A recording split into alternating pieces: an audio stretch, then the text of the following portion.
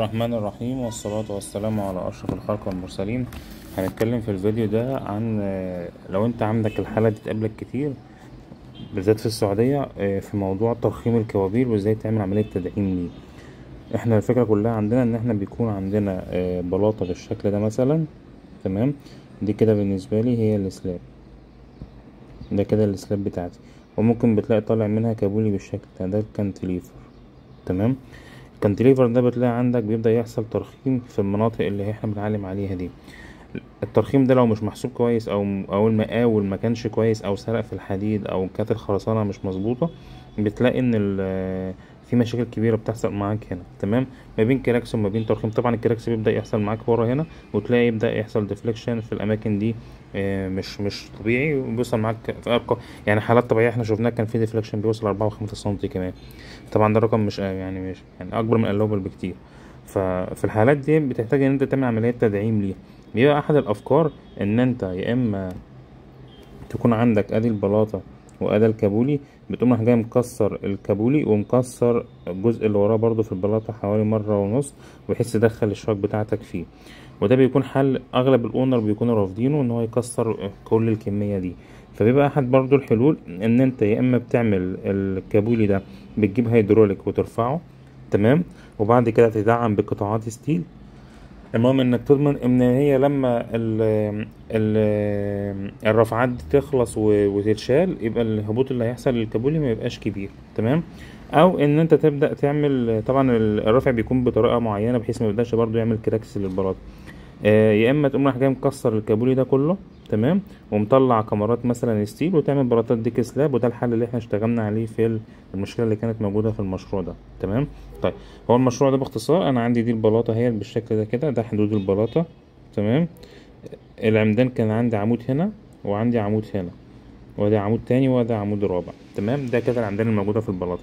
طبعا عندي ده جزء ال cantilever هو ده ده الجزء ال cantilever ال- المشكلة عندنا في الكابولي ده إن كان فيه ترخيم ونتيجة نتيجة عنه السماكة ال thickness بتاع البلاطة ما تنفذش طبقا للمخطط. الحاجة التانية إن ال fc prime أصلا كانت إجهادها فشل.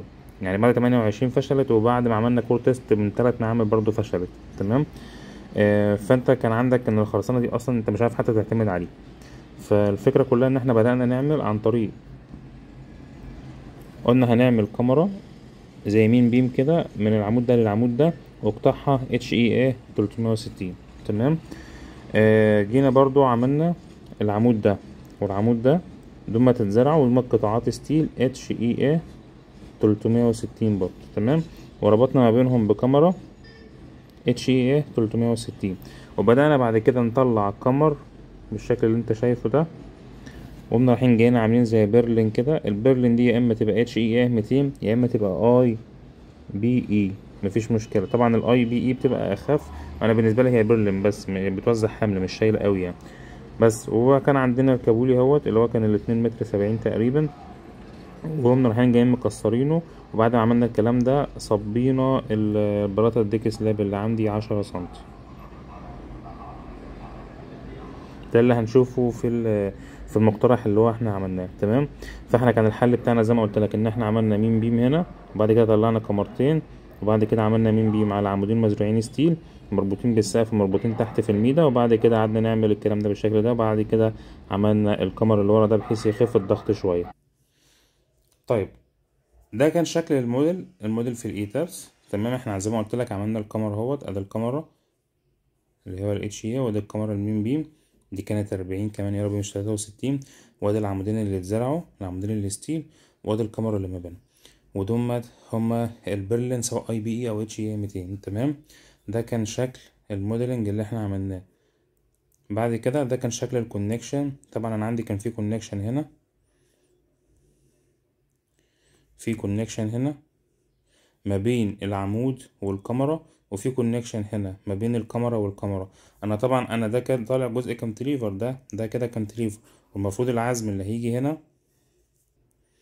العزم عندي هيبقى مثلا جاي بالشكل ده المفروض إن هو يكمل معايا ورا تمام؟ فأنا عايز أضمن إن الركيزة دي تقدر تنقل العزم من هنا لهنا فعايز أعملها زي ركيزة fixed تمام؟ بحيث تنقل العزم اللي هيجي من الكابولي ده تنقله للكمرة اللي ورا دي تمام؟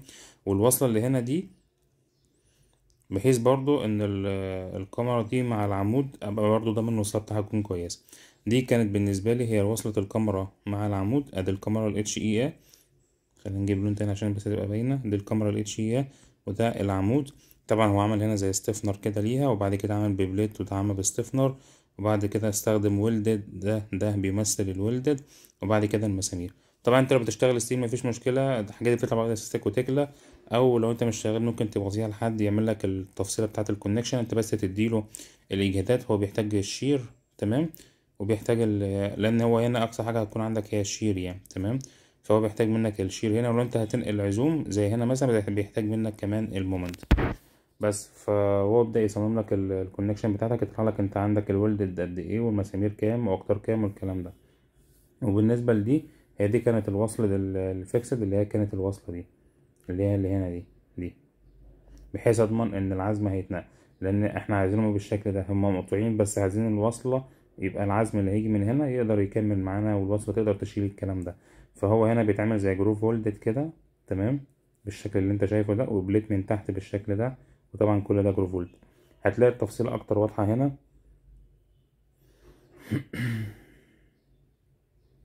هتلاقي ديت التفصيلة اهي اللي إحنا كنا بنتكلم عليها الكمرة مع العمود ده القطاع بتاعها ده قطاع العمود.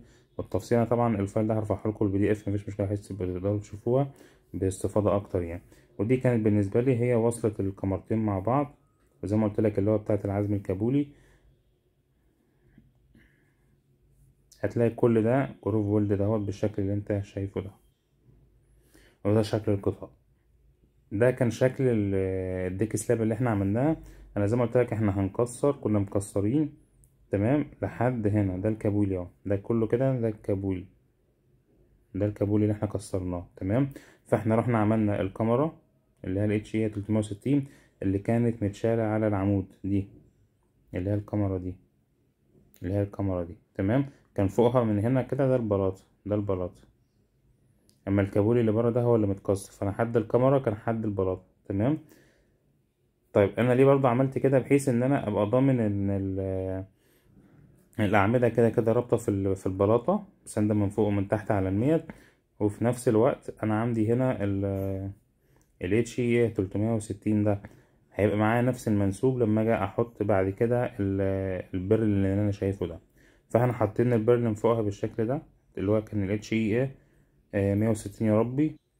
وإحنا اخترنا ال thickness دي بناء أنا عندي هنا ده 360 اللي هو ال thickness بتاع ال HE 360 وعندي 100 سنتي 100 ملي اللي هي 10 سنتي بتاعت ال deck slab فكله كده عامل معاك كام؟ 46 فأنت كنت محتاج هنا ده 36 وده 26 فأنت بتتكلم في حوالي 54 فأنت كنت محتاج 160 الفرق دي. فإحنا خدناها بال purlin اللي أنت شايفه ده. وطبعا بيكون عندك البلاطة deck slab بيكون أهم حاجة فيها إن أنت يكون عندك فيه shear stud زي ما أنت شايف كده. مع البلاطة. طبعا بيكون عندك هنا ده اللي هو الشنكو أو ال deck بتاعتك وبعد كده تبدأ تعمل ال shear studs بتاعتك وبعد كده تستخدم concrete هنا في المسافة دي. وإجهادها كنا مستخدمين خمسة وتلاتين ودي كانت بالنسبة لي هي البلاطة القديمة. دي كده هي البلاطة القديمة وده كده بالنسبة لي هو الجزء ال cantilever. وإحنا صابين بلاطة صغيرة بحيث ما يبقاش وزنها تقيل على ال steel. يعني إحنا برضو كنا مراعيين إن إحنا ال thickness ميبقاش أزيد من كده بحيث يبقى أنت عندك ال لو ال thickness ده زاد هتلاقي برضو الترخيم بدأ يزيد معاك لأن قطاعات ال steel كانت برضو فيها مشكلة تقدر تتحمل الكلام ده وتبدأ تزيد معاك. بس دي بتبقى أحد الأفكار اللي هي لو أنت عندك كابولي فيه مشكلة بيبقى زي ما قلت لك يا بتكسره وتكسر جزء وراه وتبدأ تسلح يا إما بتبدأ النقطة التانية إن أنت تبدأ تعمل تدعيم بال steel والكابولي على وضعه بس يكون عندك الخرسانة إجهادها كويس والكلام ده كله بحيث يقدر تساعدك. أو الحل التالت زي اللي إحنا شرحناه ده إنك بتكسر منطقة الكابولي فقط وتبدأ تعمل عمليات تدعيم steel تطلع cantilever beam steel وتحاول تعمل لها برضو mechanism تحميل كده يكون مناسب ليها. وبعد كده تبدأ تصب البلاطة deck slab عشرة سنتي تبقى واخد تأثير كل ده معاك في الموديل وتاخد تأثير برضو ال connection اللي أنت عاملها بحيث تبدأ تنقل كل الأحمال ليك. وزي ما قلت لك انت الموضوع لو انت ما انتش قادر تشتغل steel انت زي ما قلت لك انت بتعمل ال modeling وتظبط دنيتك وبعد كده تبدأ تروح انت لل لأي مهندس steel تديله قول له أنا عايز بس ال connection ما بين ده وده والقطاع ده ده القطاع كذا والقطاع قطاع العمود مثلا كذا وقطاع الكمرة كذا وال moment وال shear كذا. واخد بالك؟ هو بيبدأ بقى ياخد الحاجات دي يعملها على IDEA StatiCa أو Tekla يطلع لك التفصيلة بتاعتها من ال Tekla وفي ال IDEA StatiCa برضه بيقدر يظبطها لك يعني. ولو في بقى مسامير مع خرسانة بتاع بيستخدم برنامج اسمه Hilti ويديلك ال- المسمار برضو محتاجه أكتر ويدخل قد إيه في الخرسانة والكلام زي ده. بس فدي شغلتهم أكتر يعني لو أنت ما أنتش متخصص في ال steel بتعمل كده لو أنت تقدر تعملها بالبرنامج برضو مفيش مشكلة. بس دي دول بيبقوا يعني تلات أفكار اتعرضنا لهم الفترة الأخيرة بصفة كتير جدا آه، كوابيل كتير كان حصل فيها مشاكل فدي كانت أحد الاقتراحات اللي إحنا اشتغلنا عليها سواء الأولى أو التانية أو التالتة قلنا برضو بحيث لو حد قابله مشكلة بعد كده في حاجة زي كده يبقى عنده برضو آه، زي أساس كده ممكن يبدأ يكمل ويشتغل عليه يعني. بس شكرا والسلام عليكم ورحمة الله وبركاته.